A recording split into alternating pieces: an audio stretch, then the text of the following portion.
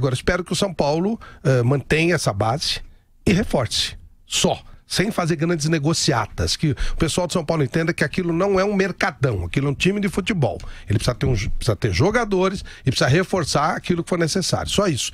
E vamos fazer a conta para ver se o Brenner joga pelo menos 10 jogos com a camisa do São Paulo, né? Que quando aparece qualquer coisa boa, eles ficam telefonando pros caras, ó, oh, quer pegar, quer pegar? Fazer, começa que, né? Todo mundo espalha, sabe? Coloca no Mercado Livre, coloca num monte de lugares aí pra, pra, pra que os caras não busquem pé. Olha, vocês não querem o jogador e tal, não sei o quê. Deixa o cara trabalhar um pouco no São Paulo, fatalmente ele vai ser negociado, mas não precisa ter tanta pressa de fazer negócio, né? É, que deixa o Dorival Júnior ter pelo menos um time para trabalhar.